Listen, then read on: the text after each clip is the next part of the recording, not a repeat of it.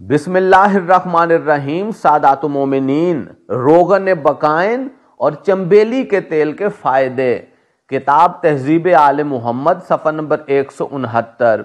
इमाम जाफ़र सादिक सलवातुल्लाह इरशाद फरमाते हैं बकाइन का तेल बहुत ही अच्छा है।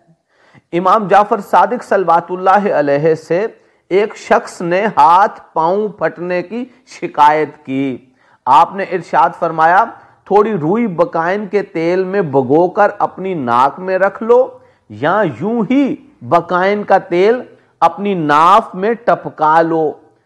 उसने एक ही मर्तबा ऐसा किया था कि उसके हाथ पाँव ठीक हो गए।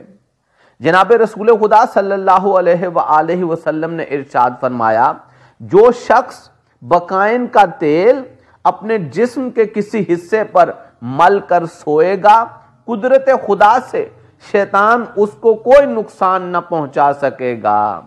जनाब अमीर मोमिन मौला इमाम अली सलवातुल्लाह इरशाद फरमाते हैं बकाइन का तेल अपने जिस्म पर मला करो कि ये पैगंबरों के इस्तेमाल की चीज़ है और हर दर्द से बचाता है।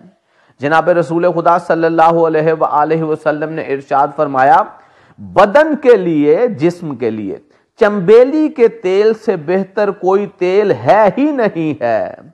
एक और रिवायत में है कि जनाब रसूल खुदा सल्लल्लाहु अलैहि वसल्लम ने इरशाद फरमाया, चंबेली के तेल के फ़ायदे बहुत ही ज़्यादा हैं। चंबेली का तेल सत्तर बीमारियों को दूर करता है, दफ़ा करता है।